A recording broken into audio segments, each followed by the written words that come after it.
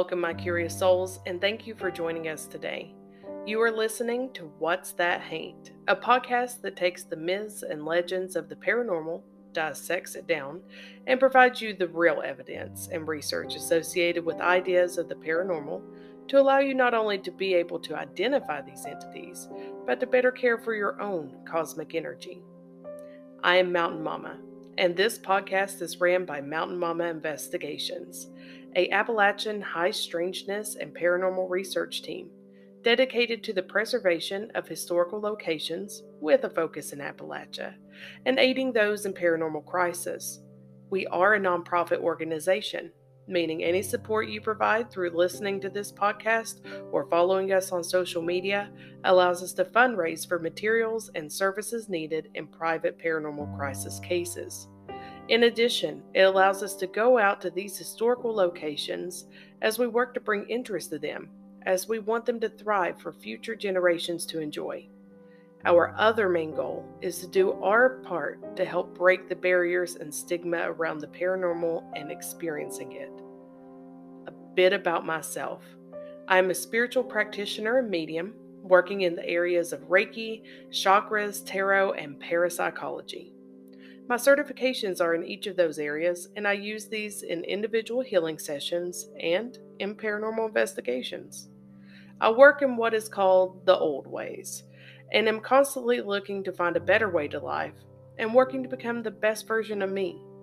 I also dabble in Akashic Records and all things that may be considered woo woo.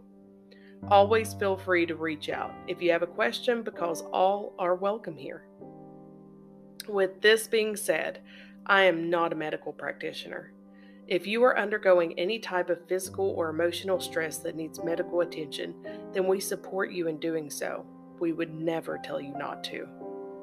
Some of you may be wondering what a haint is. haint is a term that has been used in various parts of the world, but for myself, it was used largely in my hometown and area of eastern Kentucky. Haint is a common word used in Appalachia to describe a spirit or ghost or anything related to the paranormal or supernatural, really. This is why it was normal in Appalachia to paint their porches haint blue, as many folks worked on ways to rid their homes of these entities.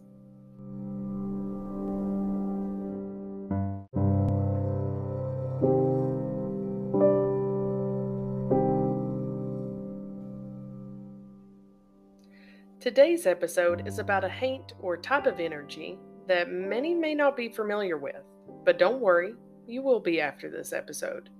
Now it is time for you to sit back and relax while we expand your mind on a haint called the servitor.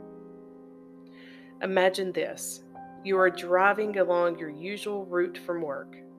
It has been a long day, but you do enjoy your evening commute as it always has beautiful scenery and inspiring architecture from the past. You make your turn onto that old country road, and there is a glow of orange cast on everything around as the evening sun is winding down to end the day.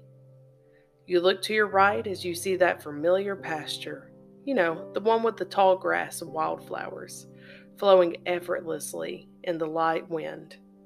In the distance, you can make out the outline of your favorite landmark on this drive an old abandoned mansion stands with its proud stone structure reminding you of how there is not another home like this in all of town. You've always wondered what stories it holds, or the events of the past that took place within its grand walls.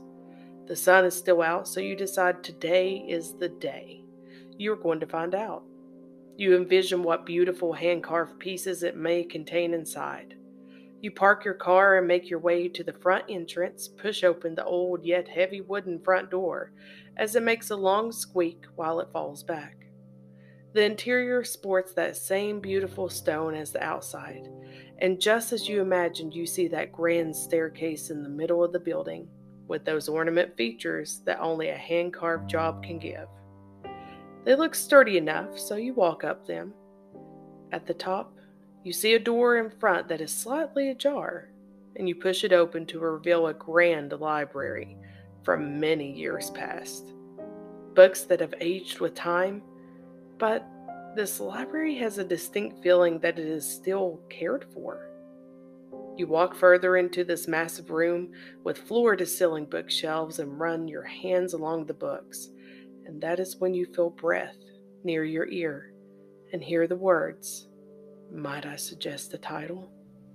You whip your head around and become startled as you realize you are still alone. You ask yourself, What is that haint?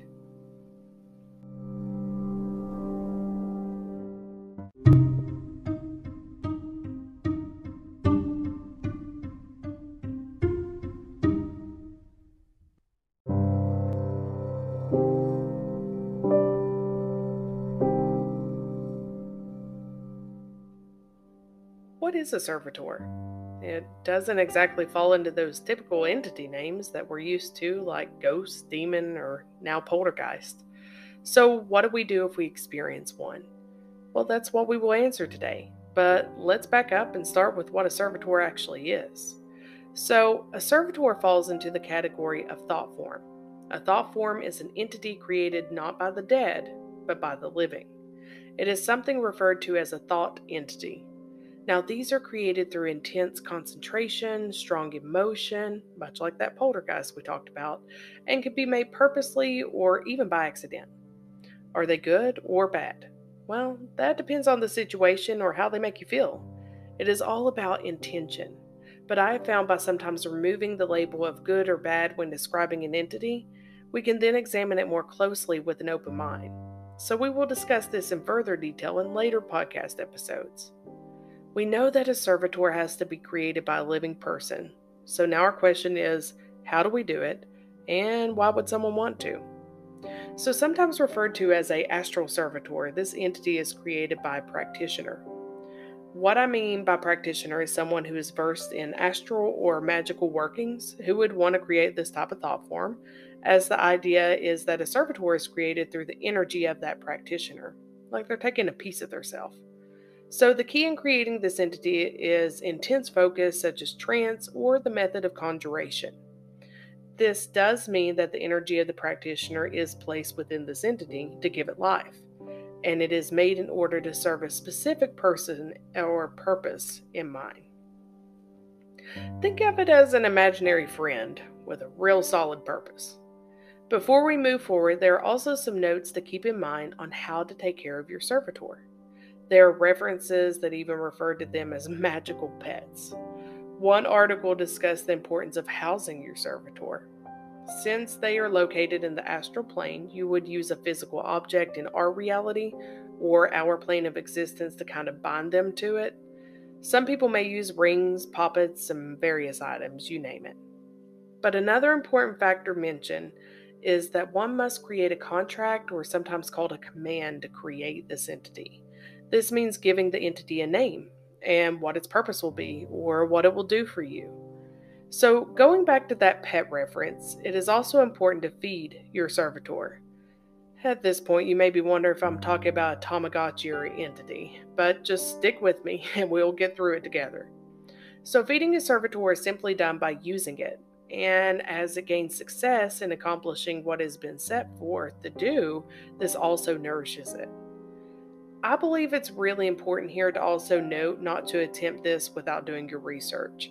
I am providing you the general steps and ideas so we can get to a point of discussion on how the servitor can affect the paranormal field. Now, if you want to know more on creating one or working with one, then please, please, please do your research with some reputable authors and experts in the field of thought forms. You see, there is also the opportunity to create a servitor in a way that it can keep creating itself, much like a form of cell division. Moving on. What is most important is to think of this entity as having a single track mind. They can be created for a particular situation, event, or even have a general purpose, such as healing, um, depression. People can use them for success, prosperity, but it has been created by a human in order to do this one specific thing, and that is all it cares about. So let's walk through an example to help us connect all these pieces. I create a servitor to help me find a book that belonged to my ancestors. Maybe it was a, we'll say, magical cookbook. It was lost at some point throughout our family tree, but I really want that magical cookbook. So I make me a servitor and I name it Jimmy. I set forth a contract or command that Jimmy will go out wherever he needs, no matter the country, time, or place, and they will find this magical cookbook my ancestors. They will come back and tell me where it's at, and then I'll go get it.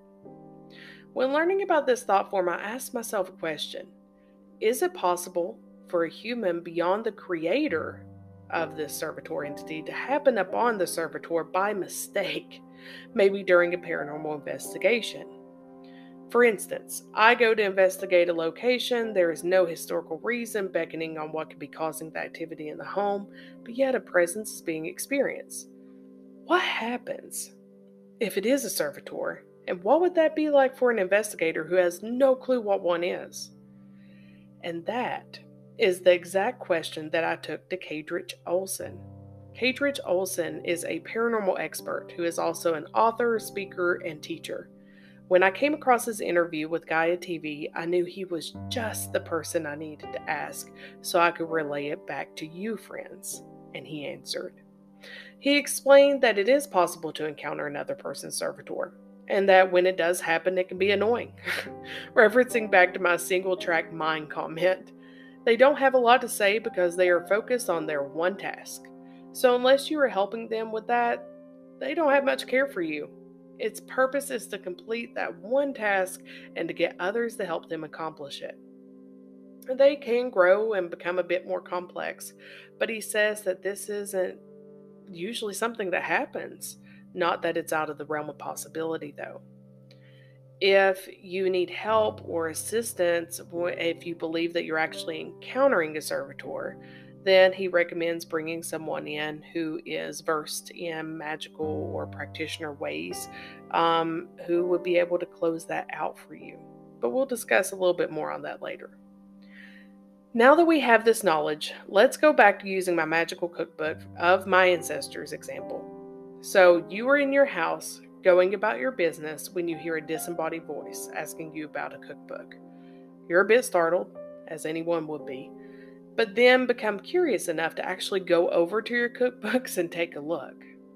It has you hooked. You start thinking about the cookbook that was mentioned, and you remember what a great deal you got on it in that pop up yard sale while on vacation. And this is why we cleanse our items. But where did you put it? You feel led to keep looking, but also you know something is off within the home, so you decide to call in a paranormal investigator. Now, the investigator gets there and sets up their equipment. They decide to start with a baseline with some EVP, electronic voice phenomena session, which is a way to allow entities to speak through electronic frequency or using it as a conduit, or maybe they're able to speak at a level which we can't hear until we play it back. But the investigator may get some EVP, and it's all about a cookbook. I would be confused too. The investigator concludes the investigation and thinks, man, this entity really likes antique cookbooks because the few times it interacted, it was all about this one purpose and this one cookbook and working to get help with it. You continue to look for that book, and when you find it, the presence is just gone. You're not hearing disembodied voices about cookbooks anymore. And maybe a few weeks later, a stranger knocks on your door asking if they can buy this book they were told you had. And now we have come full circle. Now, for the paranormally important part to me, for those who encounter or decide to make a servitor, is the importance of dismantling it once its work is done. This means to actually free it and unbind it to return to the cosmos from whence it came. If this is not done, this is where the problem sets forth. This is when a servitor can become something more entity wise and can develop to be something that no longer caters to its creator's control. It's basically taken off its leash. That leads to this man made spirit being able to run amuck in homes, lands, buildings, you name it. And depending on the severity, it leads to those unexpected victims in those areas being affected by a paranormal crisis with an entity that they had no part of making. So, why talk about thought forms? Because by naming every entity or haint we encounter a ghost or demon, we really limit ourselves. When we limit ourselves in the paranormal world, we don't always know what specific entity we are dealing with, and by not knowing this, we don't know the specific way to care for it for ourselves or to help others. Which once again leads us to the word ghost being a very broad term when there are so much more than ghosts out there. But for now, my friend, we must digest what we have learned here and leave those other haints to another day. If you enjoy this kind of research, stories, or the paranormal, then feel free to follow us on social media. That way you can know what kind of shenanigans we're up to. You can find us on YouTube by searching Mountain Mama Investigations. We are also on TikTok as Mountain Mama IMV, and you can also search us on Twitter and Instagram. If you would like to tell some stories or join in on more of our Appalachia focused information, then join our Facebook group, Haints and Hollers want to ask a question or need help, then send us over an email at haintsandhollers at gmail.com. We appreciate your support on these platforms as we work to raise funds for our nonprofit to give us access to items and services needed during par- paranormal crisis and to just allow us to explore historical locations and advocate for the preservation and bring that back to you and to take you on that journey. Now, if you are interested in standing behind this cause, then we will provide a link with no pressure for you to donate. Did you enjoy our intro music? If so, I'm proud to say that it is from an Eastern Kentucky native. If you want to hear some music that will hit you right in the soul, then check out Annalise and Ryan on their webpage. The Huffington Post states that their music is resounding from the hollers with a haunting beauty. Well said. I'm proud not only to have this music grace this podcast, but to also call Annalise family. She and her husband have worked to keep the beauty of Appalachia up on our ears. Well, friends, until next time, remember if you see a haint, give us a holler.